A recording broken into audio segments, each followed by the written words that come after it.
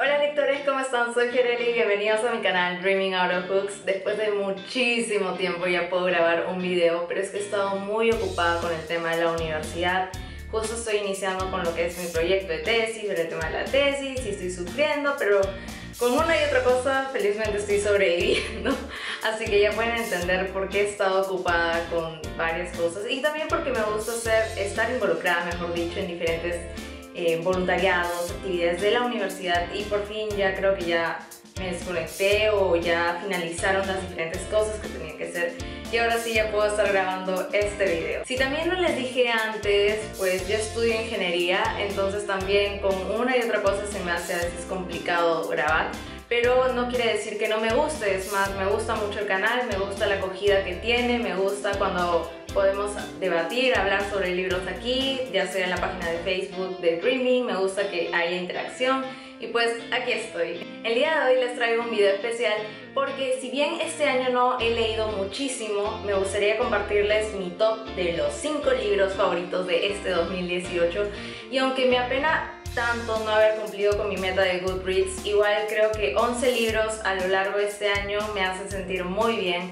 Mi meta era 22, así que espero que este 2019 fijo pueda llegar a mi meta e incluso superarla como el 2017, el 2016, que incluso pude superar mi meta. Así que iniciamos ya. En el quinto puesto está el libro Vivir bien la vida de J.K. Rowling y me gustaría empezar diciendo muchísimas gracias a la editorial Océano por este ejemplar. La verdad es que es un libro muy corto, con ilustraciones y que toca dos temas fundamentales, lo que es la creatividad y el fracaso. Hace un par de meses tuve una circunstancia muy em, de mucha frustración porque en el tema de tesis algo había sucedido y sentí o sea, me sentí de cierta manera una fracasada. Y en realidad no es así. El tema del fracaso quizás puede llegar en, en, algún momento de nuestras vidas, pero tenemos que verlo de una manera no negativa o quizás en ese momento la vemos negativa, pero tenemos que verlo también de la manera positiva.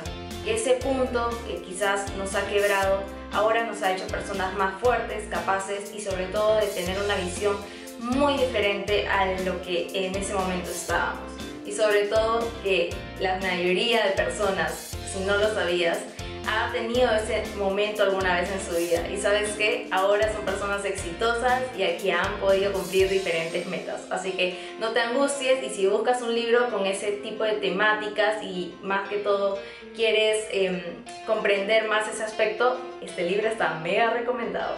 En el cuarto lugar está este libro de Mario Vargas Llosa en el cual él escribió diferentes obras, exactamente tres. Encontramos La señorita de Tacna, Kathy y el hipopótamo y también está em, La chunga. Entonces ese es un libro de verdad que me gustó bastante, me gustó en el sentido de cómo está escrito porque fue en sí leer una obra de teatro, tres obras de teatro tengo que admitir que mi favorito fue La señorita de Tacna, en segundo lugar La chunga y Katy el hipopótamus, les digo que no lo terminé de leer porque en verdad no me, no me llamaba la atención. Eso sí, si algún libro no les interesa, no les gusta, en verdad no continúen sáquenlo de su vida, sáquenlo de ese momento de sus lecturas, porque en verdad te vas a frustrar totalmente si sigues leyendo ese libro. Me gustó bastante, lo recomiendo. Ese es un autor que en verdad me causa muchísima curiosidad y me gustaría que en este 2019 que se viene pueda leer alguna u otra de sus obras que allí también tengo en mi lista por leer. En el tercer puesto encontramos el libro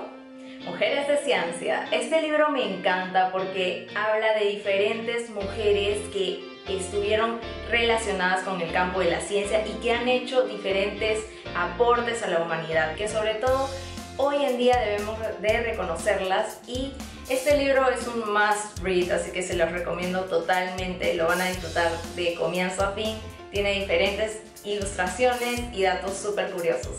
En el segundo puesto está este libro que me enganchó totalmente y es Prohibido, esta es una de las lecturas que más me enganchó en todo el año, creo que lo leí a comienzos del 2018.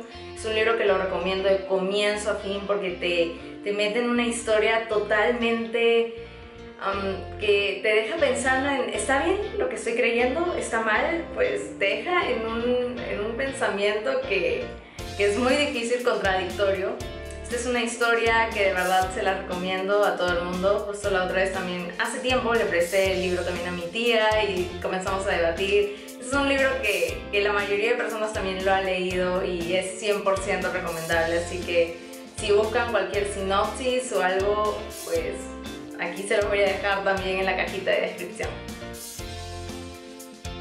Ok. Y finalmente, en el primer lugar está el libro Everyday de David Levitan. Es uno de los libros que más me ha gustado de este 2018 y es por eso que lo puse en el primer lugar, porque en verdad este autor me di cuenta que es uno de mis favoritos definitivamente. Ya he leído varios libros de este autor y la verdad es que me encanta la manera en que construye sus personajes, las diferentes temáticas habla eh, en sus libros. Pero este libro en particular tiene una historia que me pareció muy interesante, en el cual se ven diferentes temas de amor, amistad, em, diferentes sentimientos. Y yo sentí que no solo había un personaje principal, sino que eran varios. La verdad es que la manera en que me conecté con este libro fue increíble.